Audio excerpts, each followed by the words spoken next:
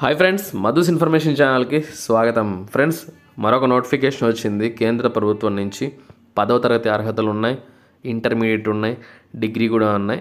So ఈ వీడియోలో అన్నీ కూడా క్లియర్గా ఎక్స్ప్లెయిన్ చేస్తాను. యాక్చువల్గా ఈ నోటిఫికేషన్ చూస్తే ఎవరు కూడా ఇది అందరికీ సంబంధించింది కాదనుకుంటారు. కానీ ఇది డైరెక్ట్ రిక్రూట్మెంట్ ద్వారా భర్తీ చేస్తున్నారనమాట సో మీకు నోటిఫికేషన్ చూపిస్తే నేను క్లియర్గా ఎక్స్ప్లెయిన్ చేస్తాను. సో క్లియర్ చేయడం మనం వీడియో స్టార్ట్ చేద్దాం. ఫ్రెండ్స్ మనకి ఈ నోటిఫికేషన్ వచ్చింది. Pandit Deen Dayal Upadhyaya National Institute for Persons with Physical Disabilities Divyangjan. ఓకేనా? సో ఇది Ministry of Social Justice and Empowerment యొక్క ఆధ్వర్యంలో ఉంటుందన్నమాట. కేంద్ర ప్రభుత్వ ఉద్యోగాలు. ఇది డీమ్డ్ యూనివర్సిటీ. ఓకేనా? ఈ పండిట్ దీన్ దయాల్ ఉపాధ్యాయ నేషనల్ ఇన్స్టిట్యూట్ ఇది డీమ్డ్ యూనివర్సిటీ అనమాట సో ఇక్కడ చూడండి the institute invites online applications for various post and deputation basis. So చాలామంది ఈ వర్డ్ చూడగానే కన్ఫ్యూజ్ అయిపోయి డిప్యుటేషన్ ఏమో అనుకుంటారు కానీ డైరెక్ట్ రిక్రూట్మెంట్ ద్వారా కూడా ఇందులో భర్తీ చేస్తున్నారనమాట ఇక్కడ కొన్ని డిప్యుటేషన్ కొన్ని డైరెక్ట్ రిక్రూట్మెంట్. మనం అప్లై చేసుకోవాల్సినవన్నీ డైరెక్ట్ రిక్రూట్మెంట్ ద్వారా భర్తీ చేస్తున్నట్టు మాత్రమే. ఓకే అవి గ్రూప్ సి ఉద్యోగాలు అయితే ఉన్నాయి. సో అందులో చూసినట్లయితే స్టెనోగ్రఫర్ గ్రేడ్ త్రీ రెండు ఉద్యోగాలు డైరెక్ట్ రిక్రూట్మెంట్ ద్వారా. తర్వాత క్యాలిపర్ మేకర్ ఒకటి ఉంది డైరెక్ట్ రిక్రూట్మెంట్ ద్వారా. తర్వాత స్కూల్ బస్ డ్రైవర్ ఒకటి ఉంది అది కూడా డైరెక్ట్ రిక్రూట్మెంట్ ద్వారా. లోయర్ డివిజన్ క్లర్క్ ఒక్కటి ఉంది ఇది కూడా మనకు డైరెక్ట్ రిక్రూట్మెంట్ ద్వారా భర్తీ చేస్తున్నారు తర్వాత ఎంటీఎస్ రెండు ఉద్యోగాలు ఉన్నాయి ఇవి కూడా మనకు డైరెక్ట్ రిక్రూట్మెంట్ ద్వారా భర్తీ చేస్తున్నారనమాట ఓకేనా? ఇవి మాత్రమే మనం అప్లై చేసుకోవడానికి అర్హులమండి. ఓకే? సో ఒకసారి చూద్దాం క్వాలిఫికేషన్స్ ఏంటి అనేది. ఇది మనకు ఫుల్ నోటిఫికేషన్ అనమాట సో ఇక్కడ మనం చూసినట్లయితే ఇందులో స్టెనోగ్రఫర్ గ్రేడ్ త్రీ కా నుంచి మనం అప్లై చేసుకోవడానికి అవకాశం ఉంటుంది. ఎవరైతే షార్ట్ హ్యాండ్ చేసి ఉంటారో స్టెనోగ్రఫీ వాళ్ళు షార్ట్ హ్యాండ్ అనొచ్చు స్టెనోగ్రఫర్ అనొచ్చు ఏదైనా ఓకే? సో ఆ యొక్క ఇది చేసిన వాళ్ళు ఓబీసీకి ఒకటి ఉంది ఓపెన్ కేటగిరీకి ఒకటి ఉంది. సో ఇంటర్మీడియట్ పాస్ అవ్వాలి మినిమం అనేది వాళ్ళు క్వాలిఫికేషన్. తర్వాత పది నిమిషాలలో ఎయిటీ వర్డ్స్ పర్ మినిట్ అనేది వాళ్ళు షార్ట్ హ్యాండ్ చేయగలిగి ఉండాలి ఓకేనా? తర్వాత దాన్ని టైపింగ్ కూడా చేయాలి అనమాట సో ఇది వాళ్ళకి కావాల్సిన అర్హత. ఇరవై ఏడేళ్ళ upper age limit level four ప్రకారంగా శాలరీ వస్తుంది. అంటే ఇరవై ఐదు వేల ఐదు వందల రూపాయలు బేసిక్ పే మాత్రమే అనమాట ఇంకా అలవెన్స్లు అన్నీ కలుపుకుంటే నలభై వేలకు పైగానే శాలరీ వస్తుంది. పన్నెండవ తరగతి అర్హత షార్ట్ హ్యాండ్ వచ్చి ఉండాలి సర్టిఫికేట్ అవసరం లేదనమాట సో కాబట్టి ఎవరైతే షార్ట్ హ్యాండ్ వచ్చి ఉంటుందో వాళ్ళు తప్పకుండా అప్లై చేసుకుని చాలా పోటీ తక్కువ ఉంటుందండి. షార్ట్ హ్యాండ్ నేర్చుకునే వాళ్ళు చాలా తక్కువ మంది ఉంటారు చాలా కష్టం అది. సో ఇది చిన్నప్పుడు మనం అలా నేర్చుకుంటామో అలా నేర్చుకోవాలన్నమాట. తర్వాత క్యాలిపర్ మేకర్. సో ఇరవై ఐదు నుంచి ముప్పై సంవత్సరాల వయసు వరకు అప్లై చేసుకోవచ్చు. ఇది కూడా ఇరవై ఐదు వేల ఐదు వందల బేసిక్ పే ఓపెన్ కేటగిరీకి ఇచ్చారు ఒక్క పోస్ట్ అనేది. ఇంటర్మీడియట్ కాదండి దీనికి అర్హత. టెన్త్ క్లాస్ మాత్రమే అనమాట సెకండరీ స్కూల్ సర్టిఫికేట్ ఉండాలి. కాకపోతే ఐటీఐ సర్టిఫికేట్ ఉండాలండి. డిప్లొమో ఇన్ ప్రోస్థెటిక్స్ లేదా ఆర్థోటిక్స్లో ఓకేనా? అలాగే మూడేళ్ళ ఎక్స్పీరియన్స్ కావాలి. రీహాబిలేషన్ లింబ్ ఫిట్టింగ్ సెంటర్ ఇలా అనమాట సో ఆ అర్హతలు ఉంటే మాత్రం అప్లై చేసుకోండి. లేకపోతే సింపుల్గా వదిలేయండి. తర్వాత స్కూల్ బస్ డ్రైవర్ ఎస్సీ వాళ్ళకి కేటాయించారు. ఒక్క పోస్ట్ ఉంది. బిలో థర్టీ ఇయర్స్ ఏజ్ ఎవరైనా అప్లై చేసుకోవచ్చు. లెవెల్ ఫోర్ ప్రకారంగా అయితే శాలరీ ఉందన్నమాట. ఎయిత్ స్టాండర్డ్ పాస్ ఎనిమిదో తరగతి పాస్ అవ్వాలి. అలాగే వ్యాలిడ్ హెవీ లైసెన్స్ ఉండాలి. ఫైవ్ ఇయర్స్ ఎక్స్పీరియన్స్ కూడా ఉండాలన్నమాట. ఇక మనం చూసినట్లయితే లోయర్ డివిజన్ క్లర్క్.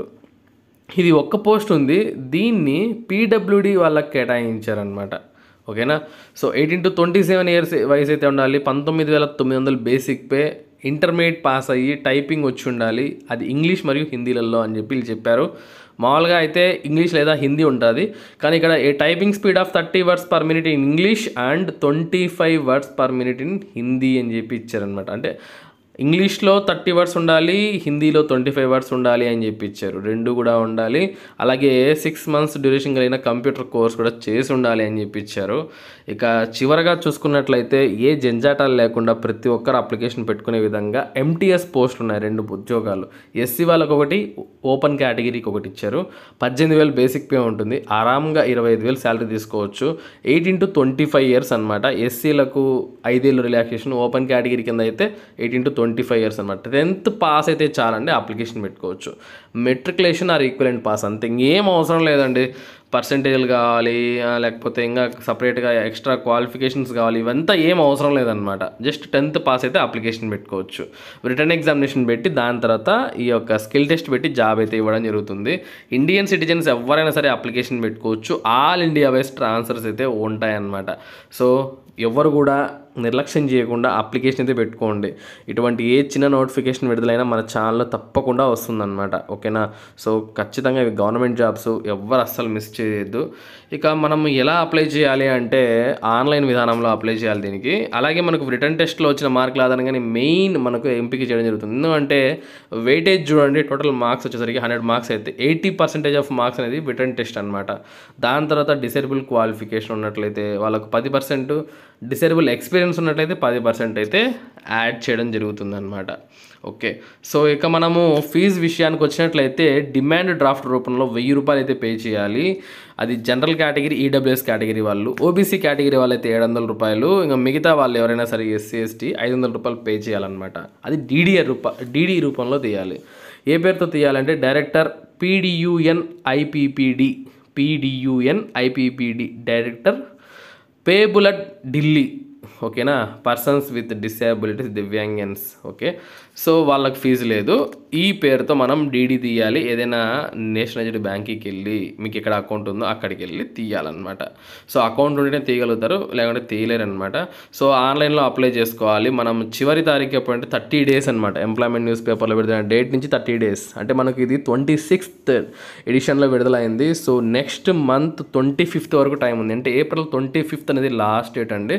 సో ఆ టైం లోపల మనం ఇది ఆన్లైన్లో అప్లై చేయాలి. సో అప్లై చేసిన తర్వాత హార్డ్ కాపీని ఆఫ్లైన్లో పంపించాలి the deputy director admin Pandit Deen Dayal Upadhyaya National Institute for Persons with Physical Disabilities Divyangjan four Vishnu Digambar Marg New Delhi double one triple zero two అనే అడ్రస్కు ఎన్వలప్లో పెట్టి ఎన్వలప్ పైన application for the post of అని speed పోస్ట్ల ద్వారా మాత్రమే పంపించాలి హార్డ్ కాపీని అర్థమైంది కదా?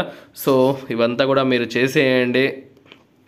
ఇంకేమైనా మీకు డౌట్స్ ఉంటే వాళ్ళ మెయిల్ కూడా ఇచ్చారు IPH MSJE at the rate of Gmail dot com అని. సో క్వరీస్ ఉంటే వాళ్ళకు కాల్ చేసి మీరు మెయిల్ చేసి కనుక్కోవచ్చు. అర్థమైంది కదా? సో అందరు తప్పకుండా అప్లికేషన్ పెట్టుకోండి అందరికీ షేర్ చేయండి. ఉంటాను. Have a nice day